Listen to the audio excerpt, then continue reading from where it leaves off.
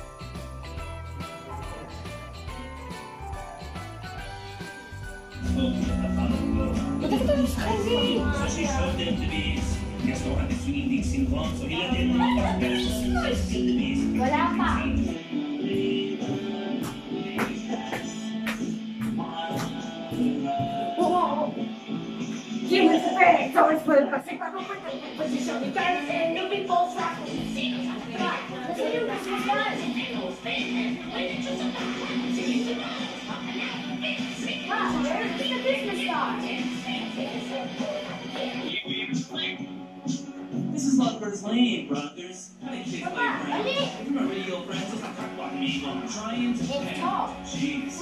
Ano nga itong mabigat na ito eh? Look up there. Is that nice? As much as I'd love to rock your world, I forget finding that shooting star. What did you do with my top?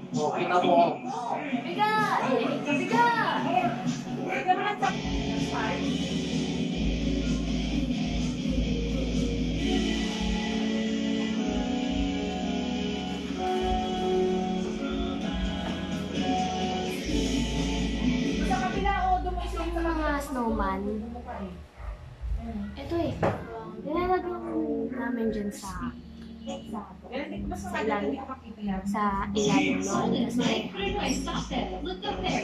na puto na yung ano eh. Dapat sabi talaga to eh.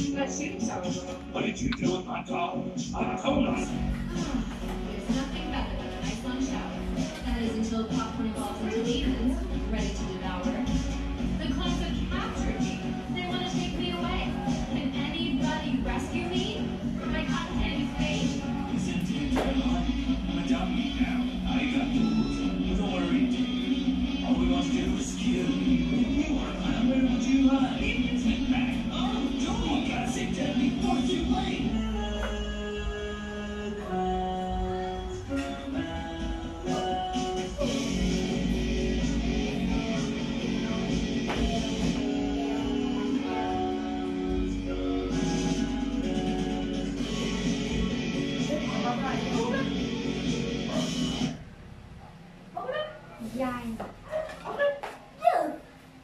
Hot.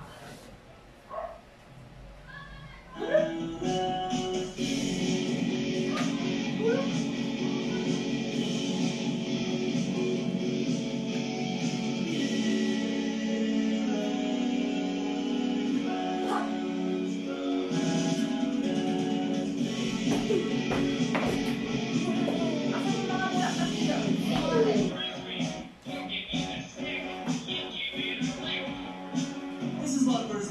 Uh, there's Pennington Playground, Remedial Francis, I'm talking about Elon, Triumph, Pam, jeez. Hold it, Mike. I forget finding that shooting star. What did you do with my dog?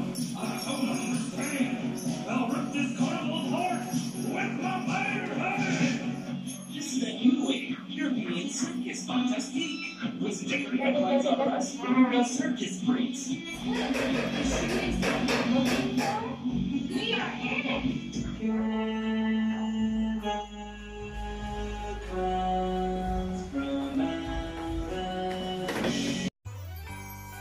So that's it guys. Thank you for watching with us. And this is one way na maging involved din yung mga anak natin, not just with autism, pero yung mga may ibang disabilities, yung simpleng magkabit ng mga stars, mga Christmas balls, siguro malaking bagay na yun para sa kanila na ma-feel din nila yung spirit of Christmas. So, thank you guys. Hey, thanks for watching our videos and please make sure to subscribe our YouTube channel and hit the notification bell to be notified if we're posting some brand new videos, updates, and whatnot.